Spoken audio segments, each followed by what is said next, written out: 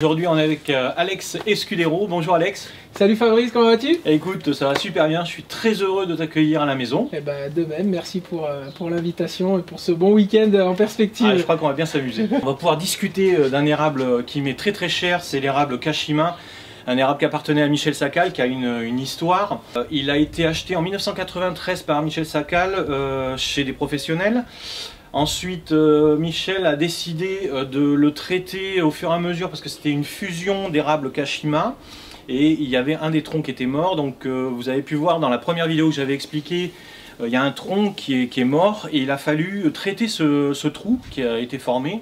Donc, Michel s'est évertué à travailler, à creuser pour que ben, le, le, cal cicatriciel se ferme euh, sur le tronc. Ouais, on voit bien la zone d'ici à ce niveau-là. Voilà, c'est vrai qu'elle est quasiment refermée hein, maintenant. Hein, et puis surtout, il y avait le défaut de conicité parce qu'à cause justement de, ce tronc qui était mort, de cette fusion, il y avait une espèce de boursouflure. D'accord. Euh, c'est un arbre que j'ai rempoté plusieurs fois. Euh, alors j'ai eu quelques petits soucis de rempotage parce qu'il faut bien trouver quand même un pot qui est adapté hein, et donc c'est pas vraiment évident. Donc j'ai trouvé un pot chinois de pas trop de bonne qualité, on va dire. Hein. Dans des dimensions comme ça, c'est un peu plus compliqué de trouver des pots avec des rapports qualité-prix qui soient raisonnables aussi. C'est ça. La finition, bon, là, je pense que maintenant, pour un arbre comme ça, c'est quand même intéressant de travailler sur la finition au niveau du pot, au niveau des couleurs. Et là, on est vraiment sur le moshikomi. Et ouais, on est maintenant sur le moshikomi, donc c'est-à-dire l'accumulation du travail que l'on va effectuer sur l'arbre. Aujourd'hui, on atteint quand même un sacré niveau avec cet arbre-là.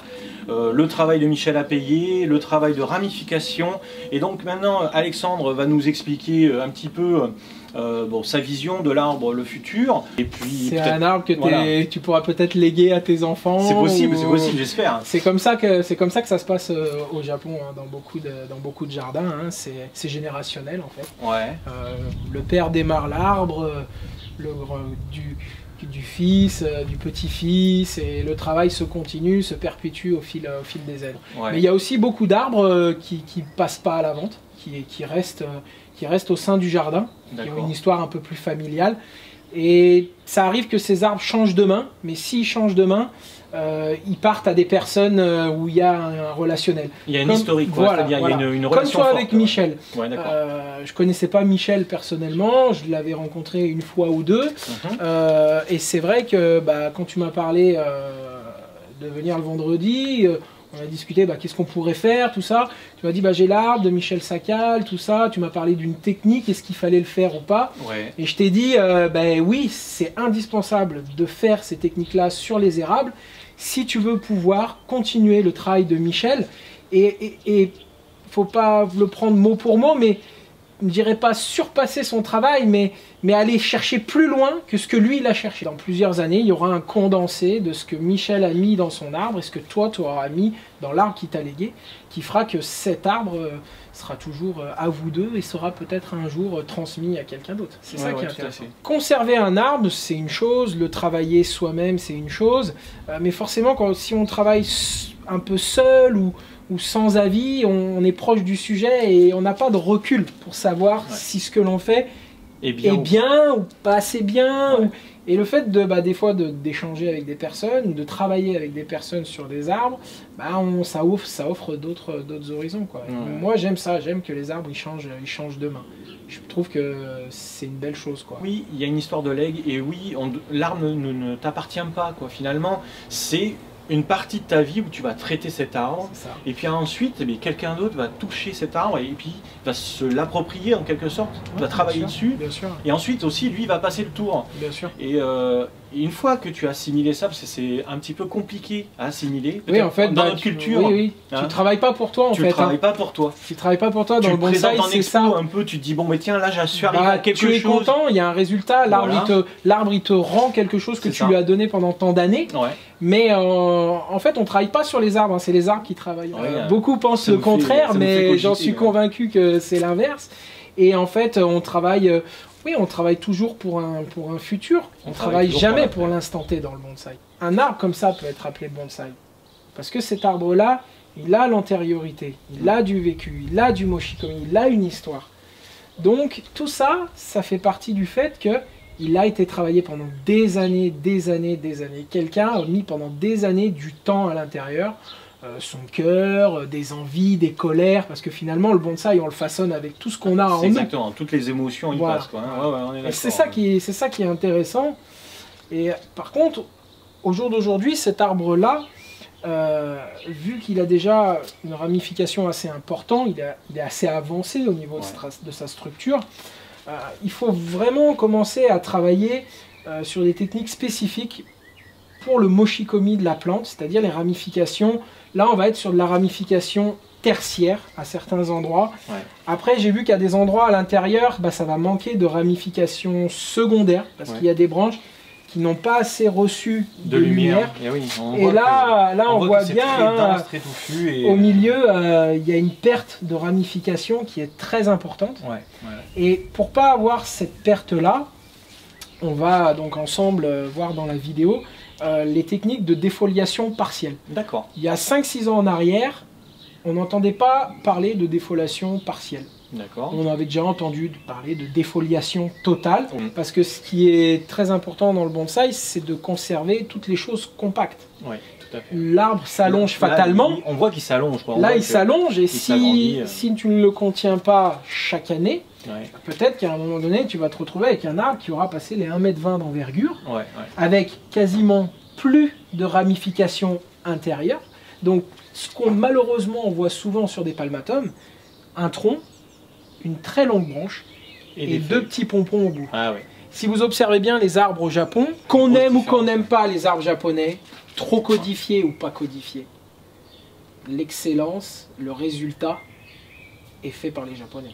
Parce que le travail est appliqué comme il faut, et régulièrement et depuis, très longtemps. Et on en revient au point de départ. Travail de Monsieur Sakal pendant beaucoup d'années. Mhm.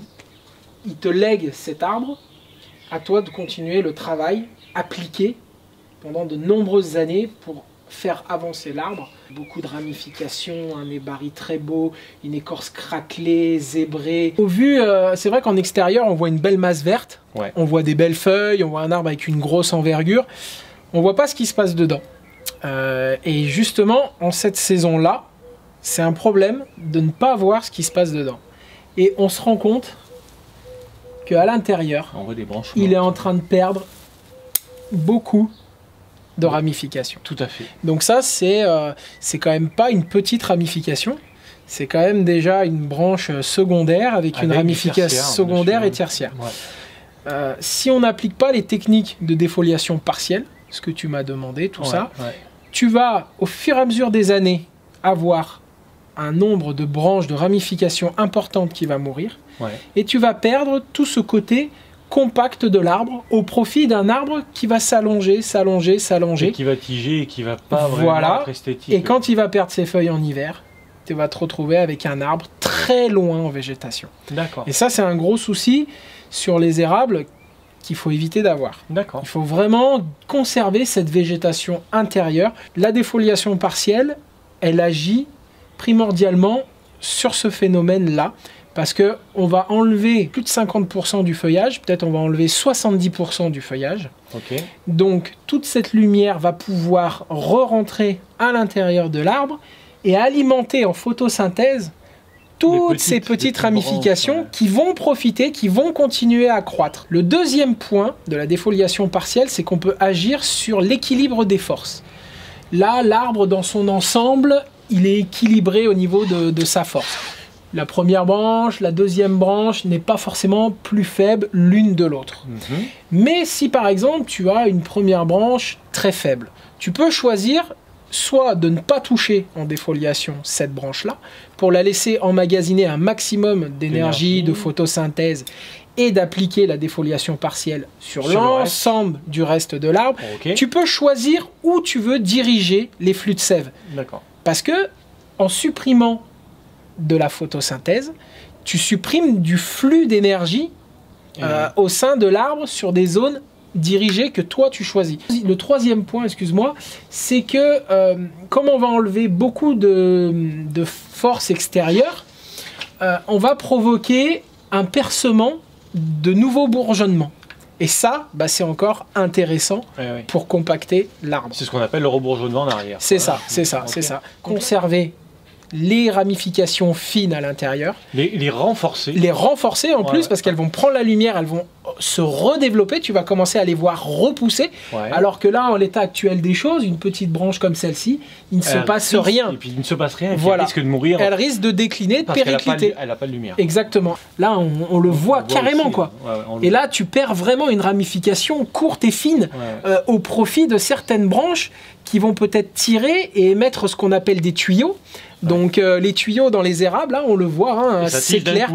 et ça, c'est le pire. Eh Parce que ces tuyaux-là, ils prennent toute l'énergie. Ils prennent toute l'énergie, ils s'allongent et forment même les inversions de conicité dans les branches. Ah ouais, ouais, tout à fait. Parce qu'une belle branche, c'est quoi? C'est une branche avec de la conicité. On parle de conicité dans les arbres.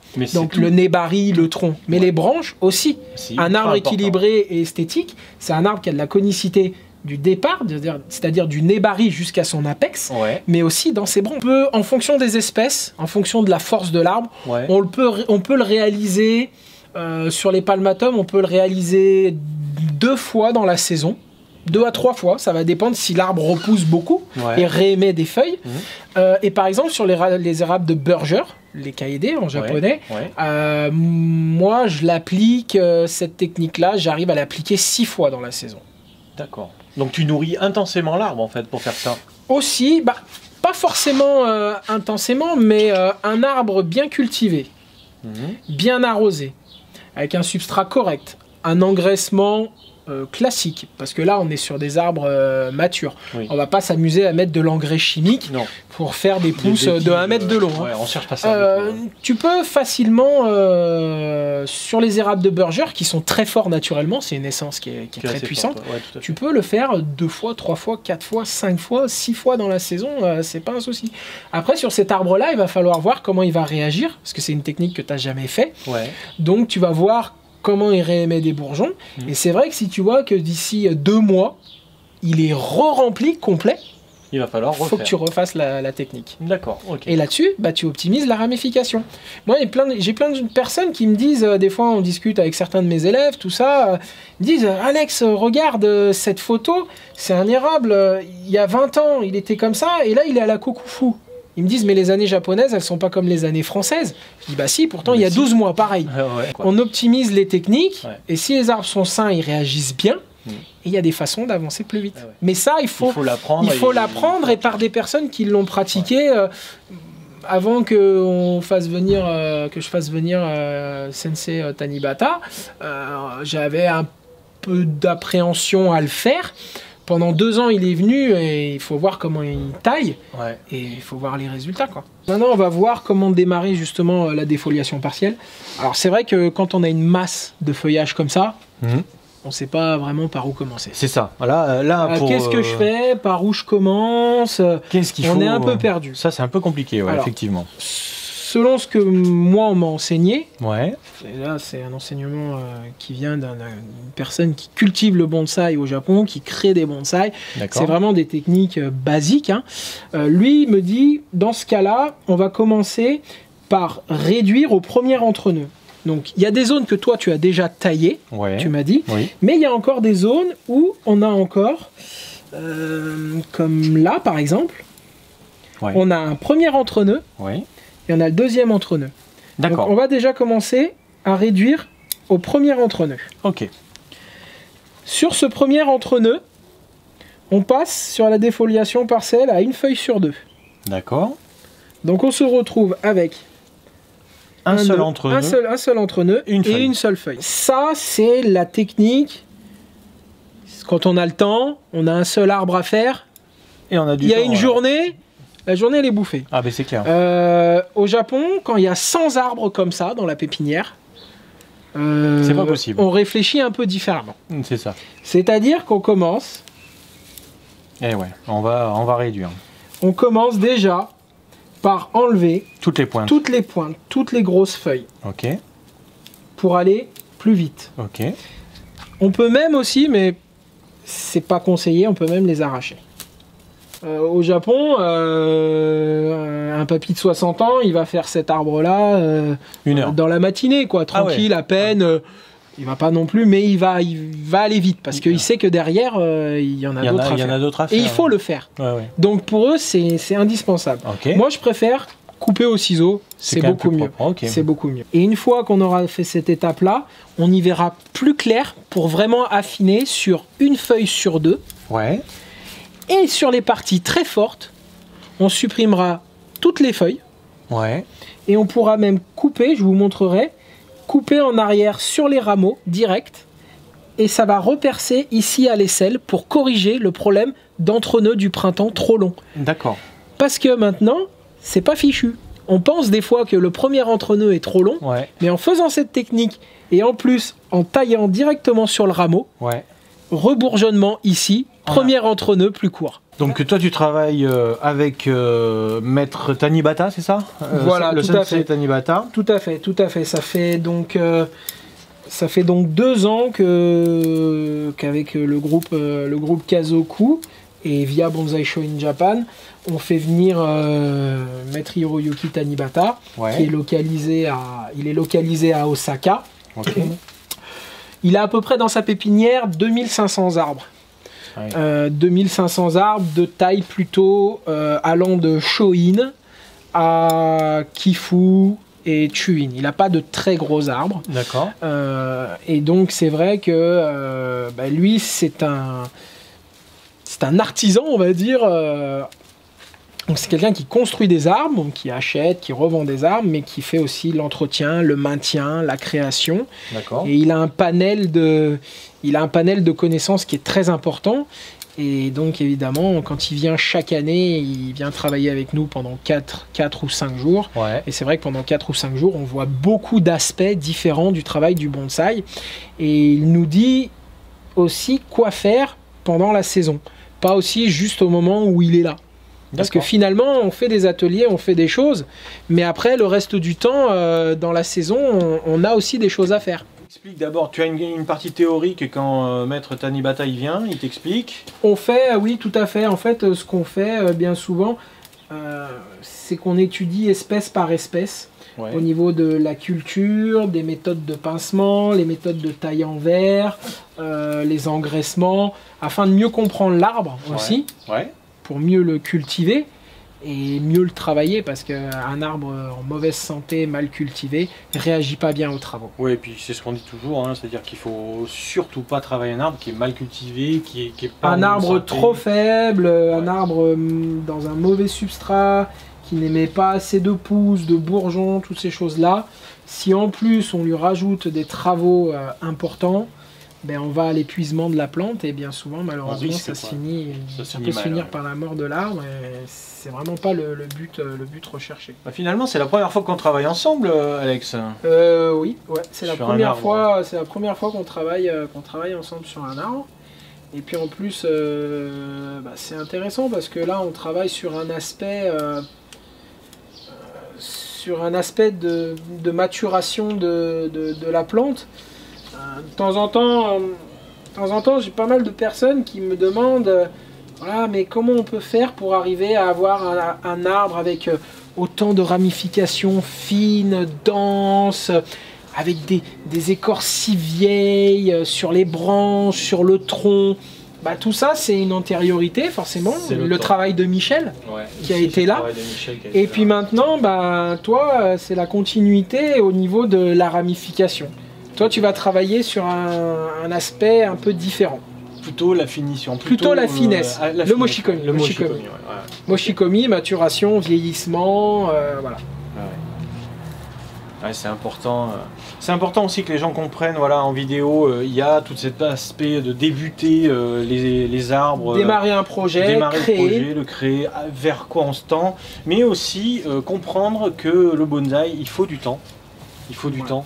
Il, faut, euh, il faut être patient pour arriver à ce stade euh, de, d'évolution de maturité, de maturité c'est il faut vraiment vraiment passer du temps. Et c'est là la comment dire euh, je dirais pas la finalité mais c'est là où on ressent l'émotion d'un arbre ouais, vénérable avec un aspect ancien qui raconte une histoire.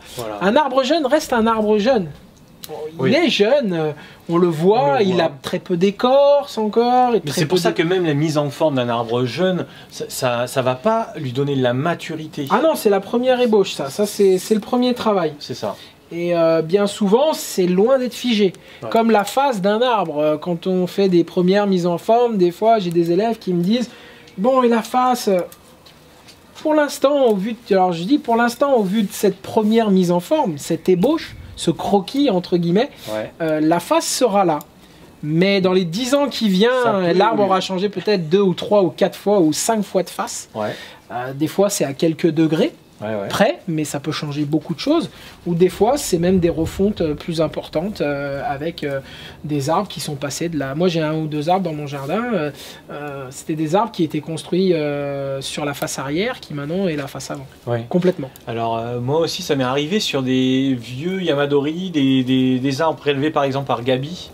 Et après, derrière, on change carrément le, bah, le sens, euh, la, physionomie complète ah de l'arbre. Mais tu as la maturité qui est sur l'arbre. Ah bah de toute façon oui parce que et tu peux te permettre ce travail là en fait parce que tu as beaucoup de branches. Ouais.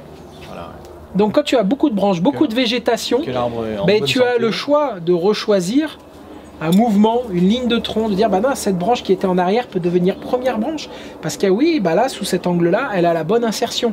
Et on a le choix sur des arbres très jeunes avec très peu de branches, on n'a pas beaucoup de choix. Et des fois, il faut même faire très attention parce qu'on n'a qu'un seul choix possible. Bien souvent, oui. Et si tu tailles trop vite, euh, des fois, tu es un petit peu embêté. Bah, comme je dis, hein, ça met 20 ans à pousser, ça met 2 secondes à couper. C'est ça. Bah, après, c'est pour ça qu'il vaut mieux euh, s'entourer, hein, s'encadrer. Euh, soit par le club, soit dans les écoles. Maintenant, il y a beaucoup. Que, voilà, le club, je dirais que c'est une première étape. C'est Tout à fait. Une première étape, euh, voir si vraiment c'est intéressant, ça intéresse. Voir si on accroche. Et, après, derrière, euh, il y a quand même, euh, il y a quand même un truc à faire, c'est d'aller en école, quoi parce que au niveau formation c'est oui c'est beaucoup toi, plus tu, toi tu, gères une, une école euh, ouais, une petite école, une petite école avec euh, quelques élèves hein, tu as une dizaine d'élèves on en parlait Tout à fait. Euh, moi je fais partie d'une autre école mais ce qui est important c'est quand même le cadre moi, Tout à fait. Là, voilà, il y a un cadre, tu sais vers quoi tu, tu, tends. Le suivi. Le suivi de l'arbre. voilà voilà, parce qu'on on se voit, une école, c'est euh, environ 2-3 rendez-vous par an. Tout à fait. Peut-être 4 si, si, on peut, mais voilà. Et puis c'est surtout euh, les années qui passent, les arbres reviennent et on retravaille sur les arbres et on voit l'évolution des arbres. Il y a un gros, une grosse avancée. Moi, j'ai vu une grosse avancée euh, à travailler dans une école et, et Bien sûr. c'est progressé, on voit la progression de suite quoi. Oui oui, ah bah ça, ça c'est indéniable. Hein. Je pense que pour tes si élèves, on pareil quoi. Hein. Oui, oui oui oui si on s'oriente vers des formateurs euh, qui ont euh, qui ont un... Parce que, comme on disait tout à l'heure, dans le bonsaï, il n'y a pas de diplôme dans le bonsaï. Ça, c'est un peu la difficulté de, Il n'y a pas de... La bonne personne. Voilà. Alors moi je dis, tu penses que la meilleure des réponses à ça, quand on veut s'orienter vers un formateur, bah, c'est éventuellement d'arriver à pouvoir entrer dans son jardin. Oui. Ça, je pense que c'est la première des choses. Dire les choses, c'est bien. On peut tous dire, bah, j'ai fait ça, j'ai fait ci, je peux faire ça. Mais voir les arbres de quelqu'un, c'est mieux. Voir les arbres du formateur, c'est Voilà. je pense que ça, c'est super important. Euh, bon, après aussi, il y a des écoles hein, maintenant avec la communication. Il y, a Facebook, il y a les forums, tout ça. On voit aussi le résultat de ce qui sort dans les écoles. Hein. Je veux dire, il y a un petit peu Ça, c'est important de regarder les travaux de l'école, les arbres du formateur, son parcours. Qu'est-ce qu'il a fait, où il a été, où il a enseigné, quelle est sa vision, euh, quelle est sa sensibilité, vers, vers quoi il tend le plus, parce que finalement, bah, on, passe beaucoup on passe beaucoup de temps avec euh, son formateur. Et puis le bonsaï, au départ, c'est une passion. Alors je pars du principe que effectivement, bah, quand on fait sa passion, c'est pour être en harmonie, pour être bien Il y a aussi une entente avec le formateur. Voilà, exactement. exactement, Donc après une intervention comme celle-ci, il y a une chose importante à, faire attention. J'ai vu que toi, ton arbre, il était euh, donc à l'ombre quand même. Un petit peu. Donc, euh, bah, tu, tu, vas, tu vas le repositionner euh, peut-être en mi-ombre. Ouais. Parce qu'il va falloir quand même un peu de chaleur, un peu de lumière pour réactiver. D'accord. Faire attention à pas replacer l'arbre totalement à l'ombre, trop au frais, parce que son temps de réaction va être beaucoup plus long que s'il est un peu plus positionné à la chaleur et à la lumière. D'accord. Par contre, surtout pas de plein soleil. Et oui, ça c'est compliqué. Parce que toutes ces feuilles qui sont en surface, qu'on va supprimer, eh au profit de toutes celles d'en dessous, celles-ci n'ont encore pas reçu de soleil direct, de grosse photosynthèse. Donc on risque de les brûler ou de les abîmer. Il faut faire attention à ça. Et puis surtout que l'érable, il est très très sensible à ça. Bah, les érables sont sensibles à, ça et aussi beaucoup au vent. Hein. Eh et, au vent, oui, tout à fait. Alors après, j'ai jamais eu trop de problèmes. Euh, par exemple, on sait que les érables peuvent euh, avoir l'odium aussi, euh, des, petits, problèmes comme ça. Encore, l'érable pas trop, mais moi j'ai jamais eu trop de problèmes sur cet érable en particulier au niveau. j'ai eu des pucerons par exemple. Oui, bah ça, c'est un peu basique. C'est normal. Mais je n'ai pas eu de, de problème très particulier, sur cet érable. Moi non plus, sur les palmatums en général. Enfin, palmatum est quand même une espèce qui, va bien. Hein. Oui. Moi, je considère, je considère que c'est quand même une espèce qui est généreuse, qui réagit bien aux coupes, qui réagit bien aux tailles, qui réagit bien au rempotage. C'est vrai. Euh, ça va vite à construire. On fait du tronc rapidement. Euh, après, bah, c'est sûr que. Euh, il faut être patient après sur, sur la ramification fine. La ramification fine, le moshikomi. donc le moshikomi, bien sûr, c'est les techniques de taille, les techniques de pincement, la défoliation partielle, mais c'est aussi beaucoup ce qui se passe dans le pot. Le substrat, l'arrosage, l'engraissement. Ces deux aspects, au niveau du sol et de l'aérien, bah, doivent être en adéquation si on veut qu'aussi ça fonctionne sur un tout. Cette technique-là qu'on applique, si tu t'amuses dans une semaine à mettre euh, de l'engrais chimique ici, ici, ici, ah ben là... explosion, l'arbre se remet à pousser fort, fort, fort c'est pas le résultat, c'est pas ce qu'on veut. C'est pas du tout ce voilà. Veut, Donc là, on doit, on doit toujours s'adapter dans le contexte. Ah un arbre jeune à construire, on a besoin qu'il pousse. Mm. On a besoin qu'il pousse. On connaît les recettes pour faire pousser un arbre. Exactement. Voilà. Un arbre plus mature qui a besoin de moshikomi, on va faut freiner. Faut, faut freiner, faut freiner. Même au niveau arrosage, tu faut faire attention. Même au niveau arrosage, au printemps faut faire attention à pas donner trop trop d'eau, mm. surtout euh, à la première pousse. Mais on a quand même des techniques pour pallier euh, à ça aussi. Pour freiner encore là. Voilà, mm. puis repartir sur de la pousse plus courte. Ouais, ouais, d'accord. Mais c'est vraiment un tout. Le c'est un jeu, quoi. C'est un jeu en fait. Hein. C'est, on peut, ouais, on peut voir ça comme. Euh, comme un jeu, mais... Quand, on est amateur, on voit ça comme un jeu. Après, quand on est professionnel et qu'on traite une centaine d'arbres comme ça, c'est plus un jeu. C'est un travail, ouais. C'est très différent. Hein, euh, bon, on se rend compte en photo euh, vraiment des, des, splendeurs que peut, qui peuvent... peut y avoir au Japon. Tout à fait. Hein, Même en Europe, hein, on commence à y avoir des arbres. commence à avoir des très très beaux, commence à sortir des, des, des, très très belles pièces, mais à chaque fois on en revient toujours à la même chose. Euh, ce sont des pièces qui ont une grosse antériorité de travail. Comme à Saulieu, euh, euh, l'année dernière, j'ai cet arbre dans la tête, c'était un pin sylvestre, je crois pas plus haut que 40 quelques centimètres, qui avait le niveau largement d'un arbre japonais de, haut, de, haut, niveau. Quand vous parlez avec le gars, il y avait 25 ans de travail. Eh J'aime faire les mises en forme sur les arbres, hein, créer des projets, tout ça, et il n'y a pas de souci, j'en fais encore, on en fait dans l'école et tout. Moi, où je m'amuse le plus, c'est dans le moshikomi. Ouais. Ouais. Dans le travail de finition. Dans le travail de finition, c'est ce qui me. Je dirais, c'est peut-être là où je vais être le plus performant, on va dire, peut-être. D'accord. Parce que euh, c'est là où j'ai le plus étudié. Ouais. Dans ces domaines-là. Ouais. Et puis, du coup, euh, chez moi aussi, j'ai 90% d'arbres qui ont besoin de moshikomi et 10% qui sont en création. Ici, j'ai quand même plus d'arbres qui sont en travail de formation, mise en forme et tout, que de moshikomi. On a vu, on a discuté sur les arbres hein, qui, ont besoin de moshikomi. Tout à fait. Euh, bon, ça représente oui, 10-15% de la collection. quoi. Hein. C'est ce qui est logique. Hein. En France, on n'a pas encore cette maturité de, de collectionneur. Euh, parce qu'on n'avait pas les arbres. Il y a 30 ans, on n'avait pas les arbres. Quoi, tout à fait, tout à fait. Donc aujourd'hui, on ne peut pas avoir les arbres aboutis, sauf si on achète de l'importation voilà, ou de l'importation, ou avoir travaillé depuis une antériorité de travaux depuis de longues années. Alors il y en a, il y a des gens qui, qui ont fait ça depuis 30 euh, ans. Euh, on, en connaît quelques-uns. Hein. on, bien sûr. On connaît, bon, on connaissait Michel Sacal parce que forcément c'est quelqu'un qui était assez connu dans le milieu et qui avait une collection assez intéressante. Mais, euh, mais il y avait d'autres, d'autres, euh, il y a d'autres personnes encore. Hein. Oui, et puis il y a beaucoup de. Voilà, encore un problème de ramification, vous voyez. Il y a un manque de, un manque de soleil. Donc, voilà, et ça, c'est une branche. C'est une branche qui est c'est dommage de la perdre. Voilà, c'est une branche, c'est vrai que c'est dommage de, de, la perdre parce que bah, la conicité est bonne, la ramification commençait à, être fine. On le voit, la différence. Hein. Ça, ça a été un entre-nœud. Ouais.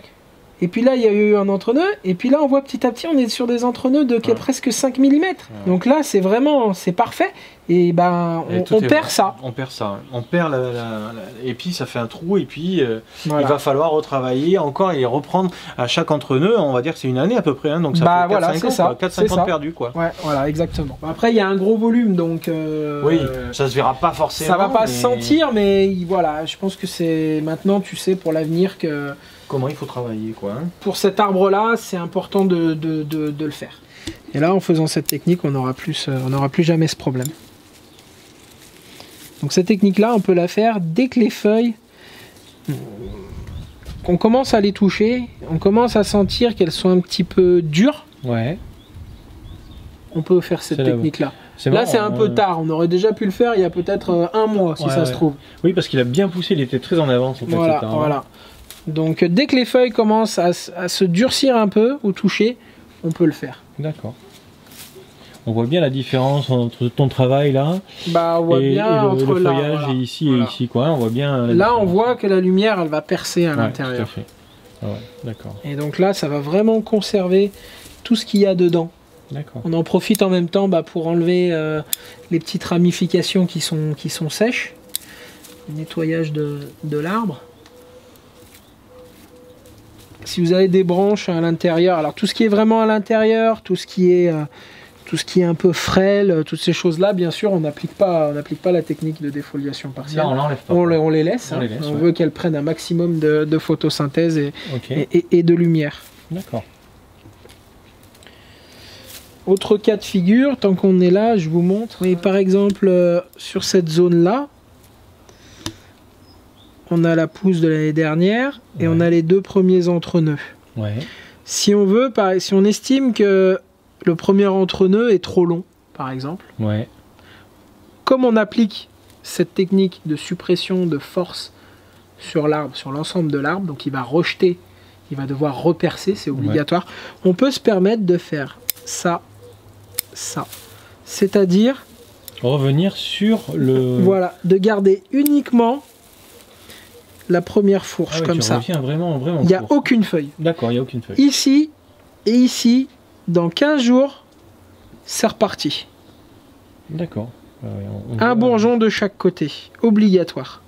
Parce que on va appliquer le reste de la technique sur l'arbre. Là, on voit bien ici, là. Voilà, il reste que la branche. il reste, hein. voilà, pas de feuille, pas de feuille. D'accord. Là, ça va repercer. Donc réduction des entre-nœuds, on garde l'arbre compact. D'accord. Sur les zones très fortes, on peut faire ça sans souci.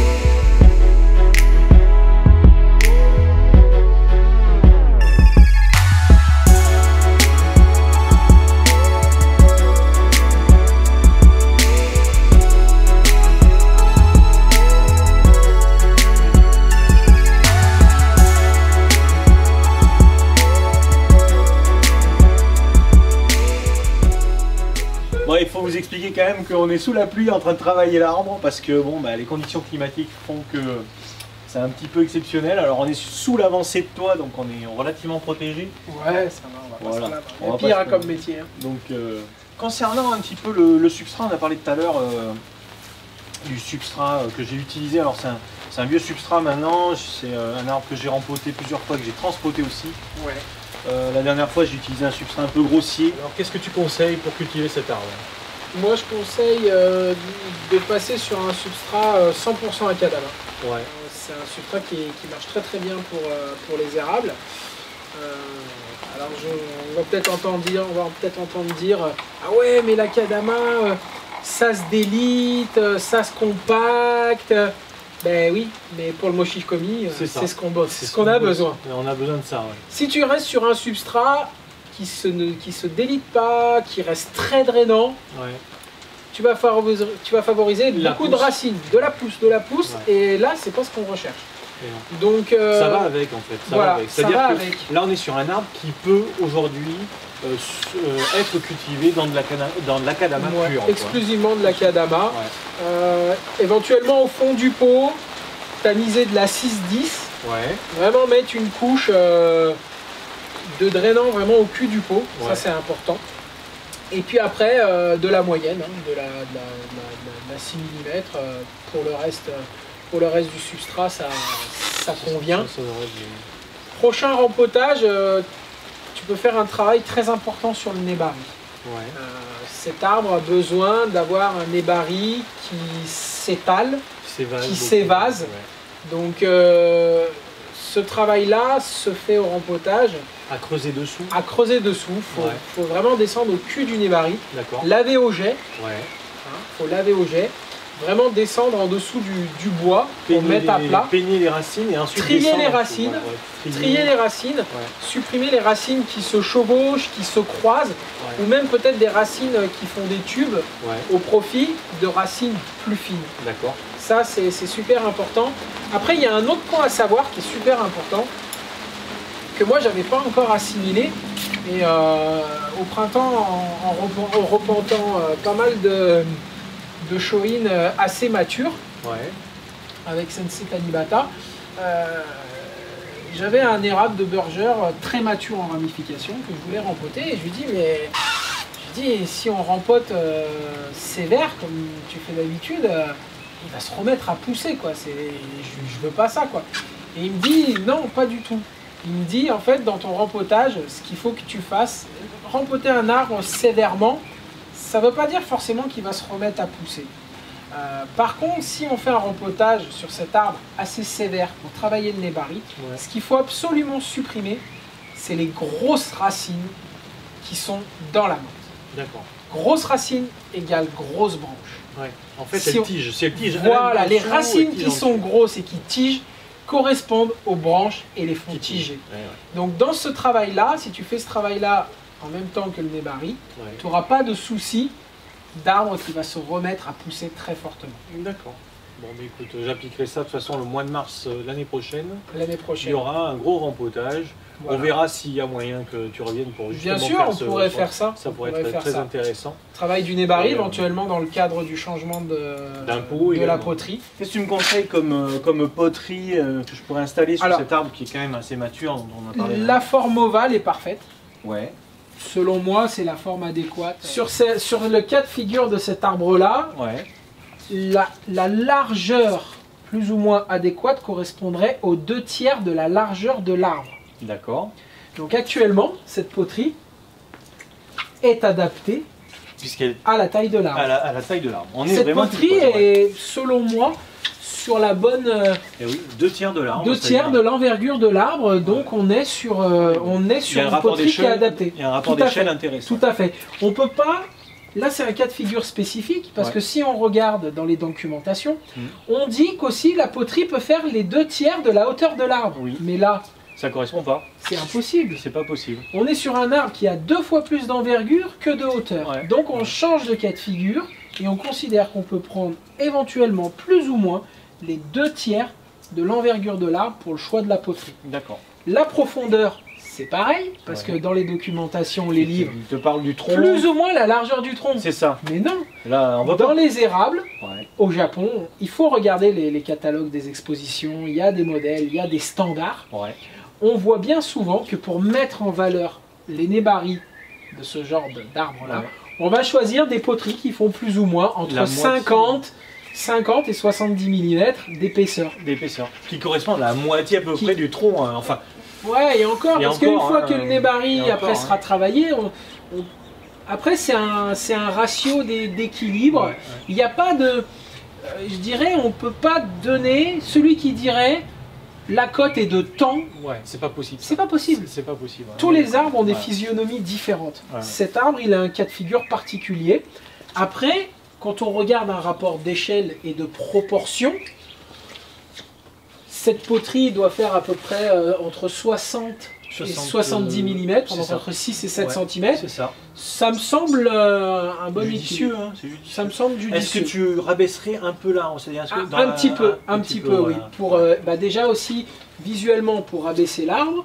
Donc on va accentuer encore cette, sensation de, d'évasement du nébari. Et puis bah, le nébari, bah, lui, va se retrouver à plat, plus à plat dans la poterie, et donc va forcément plus pousser vers les extérieurs. Parce que c'est vraiment le fait de mettre les arbres à plat qui provoque l'évasement du, du, nébari. Et ce joli disque qu'on pourrait avoir. Euh, voilà, pour parler du, travail du, du nébari, bah, on voit là cette racine cette racine n'est pas des plus, des, plus, esthétiques. Ouais, tout à fait. Donc c'est vrai que voilà, au prochain travail du rempotage, cette racine peut être supprimée. Et là, on va me dire, ah, mais si on supprime cette racine, on va faire une marque. On va avoir, on va avoir une marque, mais qui va quand même cicatriser assez rapidement, mhm. parce que si on utilise du papier d'alu, le mastic avec les hormones, tout ça, l'arbre il va quand même continuer à pousser après son rempotage. Ça va se refermer.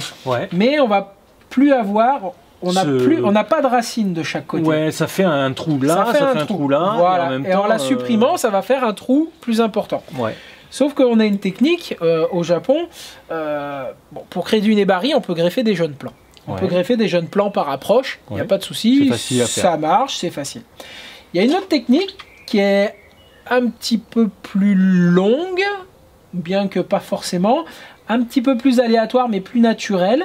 C'est donc à la suite du rempotage, on vient charger en sphaigne autour du collet sur tout le nébari. On maintient cette zone humide toute la saison, ultra humide. Oui, comme on a vu, parce que la sphaigne retient 20 fois euh, la quantité en eau. Quoi. Et en fait, l'arbre va produire des nouvelles racines. Ah. On construit, on construit les nébaris aussi au Japon de cette manière-là. Ça va favoriser le racinaire Tout sur la surface de, Sur l'écorce, il va sortir des nouvelles racines. Moi, j'ai un palmatum que j'ai rempoté euh, du Japon, qui, que j'ai fait venir il y a, il y a, trois semaines. J'ai rempoté, j'ai rajouté de la sphaigne. Il était plein de feuilles, donc les feuilles tombaient jusqu'en bas, on voyait pas. J'ai tout défeuillé comme ça en défoliation partielle. J'ai gratté, j'ai des racines blanches de diamètre de 3 ou 4 mm qui sortent sur le bois, au nébari sur le bois. Ah Et ces racines-là, couvertes, petit à petit, bah, elles vont puiser dans le sol, tu vas les découvrir, et puis une fois que tu vas les découvrir, bah, elles vont commencer à lignifier et vont construire le nébari. D'accord. C'est un choix. Euh, on peut avoir le choix de, greffer des jeunes plants, mais aussi le choix de travailler euh, de, de, cette manière qui est un peu plus naturel, entre guillemets. L'arbre perce pour émettre ses propres racines, non pas un plan greffé sur l'arbre. Tu préfères, tu préfères. Si ça, ça fonctionne, ça fonctionne assez bien, donc euh, j'aime aussi cette, euh, j'aime aussi cet aspect-là.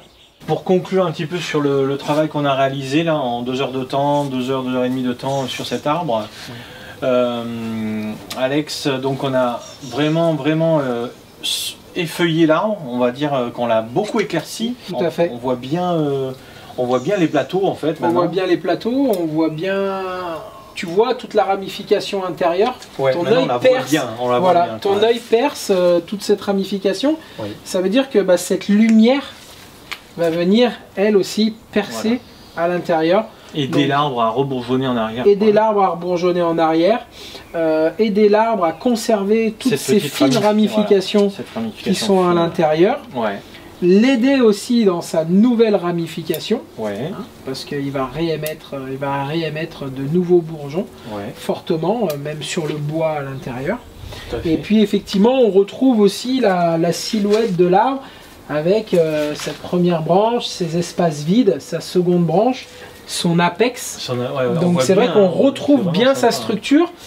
On, ne revient pas en configuration euh, hivernale, mais on dirait qu'on revient quasiment euh, presque euh, à l'hiver. Intermédiaire. Intermédiaire. Voilà, voilà, tout à fait.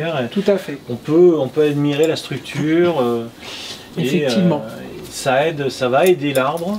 Alors on a pu voir de près qu'on avait perdu quand même quelques petites branches. Oui, sur la masse c'est quand même c'est pas très très grave, mais ça il faut faire attention euh, parce que si on le fait pas. Euh, si on le fait pas pendant 3, 4, 5 ans, ou plus, euh, hein. on, perd, quasiment tout. On se retrouve avec des longues branches et, et deux petits ou 3, 4 petits pompons ouais. au bout. Et, là, c'est. Dommage, et là, c'est pas récupérable. Quand, c'est trop long, on est obligé de tailler drastiquement et on perd. Euh, 10 ans, 15 ans, 20 ans, peut-être plus. Un retour en arrière qui est dommageable. Quoi. Qui est vraiment pour dommage. Pour soi aussi. Pour soi-même. C'est quand même dommage. L'arbre, il est équilibré dans son ensemble au niveau de la force. Donc, euh, on a essayé d'équilibrer les, volumes et les, quantités de feuillage.